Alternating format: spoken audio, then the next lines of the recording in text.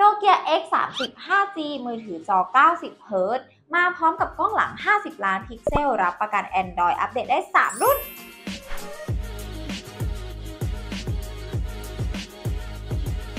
โนเกียนะคะได้ทำการเปิดตัวมือถือ 5G นะ นั่นก็คือรุ่นนี้เลยค่ะ X30 5G นั่นเองนะ มีสเปคที่น่าสนใจเลย มาพร้อมกับจุดเด่นก็คือหน้าจอ AMOLED นะคะ อัตรา refresh rate อยู่ที่ 90 Hz เลยนะ ในส่วนของชิปเซตเนี่ยจะใช้เป็น Snapdragon 695 นะคะ แล้วก็มาพร้อมกับกล้องหลังคู่ 50 ล้านพิกเซลอีกด้วยนะ มีรองรับชาร์จไวนะคะ แล้วก็ยังรับประกันการอัปเดต Android ให้ 3 รุ่นอีกด้วยค่ะ มาพูดถึงดีไซน์กันบ้างดีกว่านะคะสำหรับรุ่นนี้เนี่ยต้องบอกเลยว่าเขามีออกมาให้เลือก 2 สีด้วยกัน ได้แก่สี Ice White นะคะ ก็คือสีขาวนั่นเองนะ แล้วก็สีที่อยู่ในมือมายตอนนี้นะคะ เขาจะชื่อว่าสี Cloudy Blue นะ ตามชื่อของเขาเลยนะ เขาจะเป็นสีฟ้าหม่นหม่นๆทึมๆหน่อยเหมือนแบบ เป็นฟ้าที่มีเมฆมากนั่นเองนะคะ เหมือนมากเลยจริงๆนะก็ตรงตามชื่อของเขาเลยให้ความดูแบบสุขุมดู calm มากๆเลยนะ ซึ่งบนผิวด้านหลังตรงนี้เนี่ยสีของเขาก็จะเข้มกว่าขอบด้านข้างนะคะ ก็จะเหมือน two-tone นิดนึงนะ ตัดกันสวยงามดีเลยนะคะ ด้านข้างของตัวเครื่องเนี่ยจะเป็นสีเดียวกับตรงโมดูลกล้องตรงนี้นะ ก็จะเป็นฟ้าที่สว่างขึ้นนะคะ คืออ่อนลงมานะ แต่ก็ยังเป็นเฉดที่มีความ cloudy อยู่นั่นเองนะ ซึ่งดีไซน์ของตัวเครื่องเนี่ยต้องบอกเลยว่าเขาเหมือนจะตัดตรงแต่ก็ไม่ใช่นะคะ คือด้านข้างเนี่ยตอนแรกมองแวบแรกจะคิดว่าเขาเป็นขอบเหลี่ยมหรือเปล่าแต่จริงๆแล้วเนี่ยเหมือนจะมีความโค้งอยู่นิดๆนะคะ ก็คือเป็นเหลี่ยมแต่มีความโค้งมนอยู่นะ เพราะว่าเวลาตั้งเนี่ยก็ ตั้งยังไม่ได้นะคะคือเขาไม่ได้ตรงเป๊ะมันเขาจะมีความโค้งอยู่นิดเดียวจริง ๆนะคะ ถ้าไม่สังเกตดีๆนี่ก็อาจจะไม่เห็นเลยทำให้การจับกระชับมือเนี่ยก็ดีเลยนะคะ แบบรู้สึกว่าโอเคกระชับถนัดมือดีมากๆเลยนะ ในส่วนนี้ แล้วก็ในเรื่องของวัสดุของเขานะคะ อันนี้เนี่ยเขาเคลมเอาไว้เลยนะคะว่าใช้เป็นอลูมิเนียมรีไซเคิล100%เลย แล้วก็เป็นพลาสติกที่รีไซเคิลมาอีก 65%นะก็เรียกได้ว่าเขามีคอนเซปต์ที่รักโลกอีกด้วยค่ะ เดี๋ยวเรามาพูดถึงดีไซน์รอบตัวเครื่องกันบ้างดีกว่าค่ะ เดี๋ยวมายจะขอเริ่มจากหน้าจอก่อนเลยนะ ในส่วนของหน้าจอเนี่ยเขาให้มาเป็น panel แบบ AMOLED เลยนะคะ ขนาด 6.43 นิ้ว ความละเอียดเป็นแบบ Full HD Plus เลยค่ะ อัตรา refresh rate ของหน้าจอเนี่ยสูงสุดอยู่ที่ 90 Hz เลยนะ อัตราส่วนภาพอยู่ที่ 20 ต่อ 9 นะคะ แล้วก็สามารถดันความสว่างได้สูงสุดถึง 700 นิตเลยค่ะ และนอกจากนั้นนะคะเขายังเพิ่มความแข็งแรงมากยิ่งขึ้นนะคะ ด้วยการใช้ Gorilla Glass Victus อีกด้วยนะ และในส่วนของดีไซน์เนี่ยเขาก็จะมีการเจาะรูด้านบนตรงกลางแบบนี้เลยนะคะ เป็นในส่วนของกล้องเซลฟี่นั่นเอง นอกจากนั้นนะคะ ในส่วนของหน้าจอเนี่ยเขาก็ยังมีในส่วนของการสแกนลายนิ้วมือใต้หน้าจอให้อีกด้วยค่ะ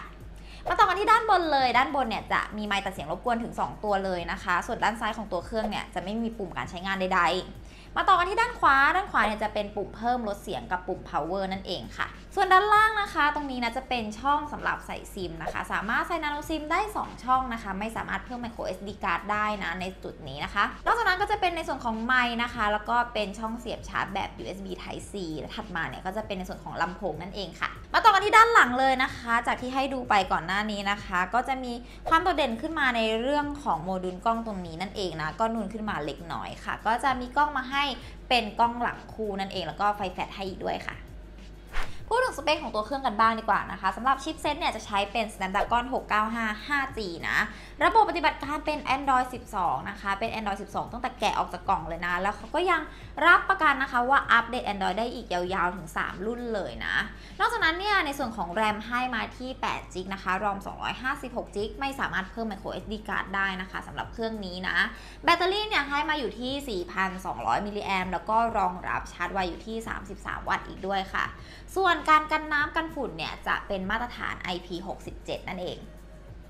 ในส่วนของกล้องนะคะ กล้องหลังให้มาเป็นเลนส์คู่นั่นเองนะ กล้องหลักเนี่ยความละเอียดถึง 50 ล้านพิกเซลเลย แล้วก็มีระบบกันสั่นแบบ OIS ให้อีกด้วยนะคะ และอีกหนึ่งเลนส์เนี่ยก็จะเป็นในส่วนของกล้อง ultra wide ความละเอียดเนี่ย 13 ล้านพิกเซลเลยนะ ซึ่งก็จะได้ภาพมุมกว้างถึง 123 องศาเลย ในส่วนของกล้องหน้านะคะ กล้องเซลฟี่เนี่ยเขาให้ความละเอียดมาถึง 16 ล้านพิกเซลเลยค่ะ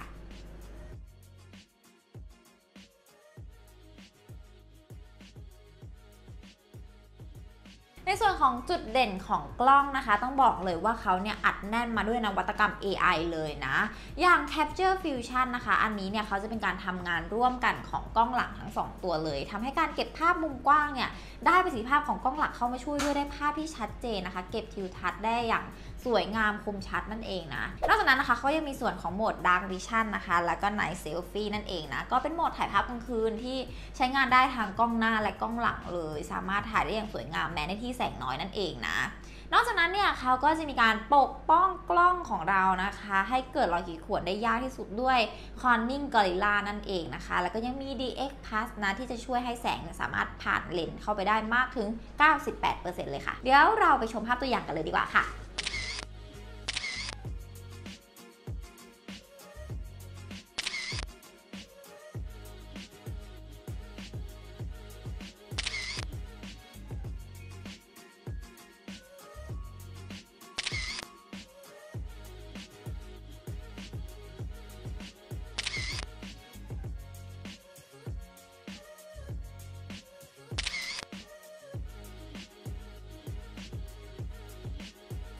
โนเกีย X 3 0 5G เครื่องนี้นะคะ เขารับประกันนะคะ สามารถอัปเดตเรื่องของความปลอดภัยรายเดือนเนี่ยได้ยาวๆถึง 3 ปีเลย รวมถึงการอัปเดต Android เนี่ยก็ได้ยาวๆอีก 3 ปีเช่นกันนะคะทำให้เราเนี่ยสบายใจได้เลยว่าจะสามารถเพลิดเพลินกับฟีเจอร์ใหม่ๆ ได้อย่างครบถ้วนแน่นอนนะ รวมถึงในเรื่องของความปลอดภัยเนี่ย ข้อมูลการเข้าถึงหรือว่าข้อมูลประสิทธิภาพของตัวเครื่องเนี่ยเขาก็จะถูกจัดเก็บเอาไว้นะคะ ที่เมืองฮามินาประเทศฟินแลนด์นั่นเอง ซึ่งก็จะถูกคุ้มครองอยู่ภายใต้กฎหมายข้อมูลที่เข้มงวดมากๆเลยนะคะ ของประเทศยุโรปนั่นเองค่ะ สรุปจุดเด่นของเขากันดีกว่านะคะสำหรับ Nokia X30 5G เครื่องนี้นะ จุดเด่นของเขาเลยก็คือสามารถใช้งาน 5G ได้นะ แล้วก็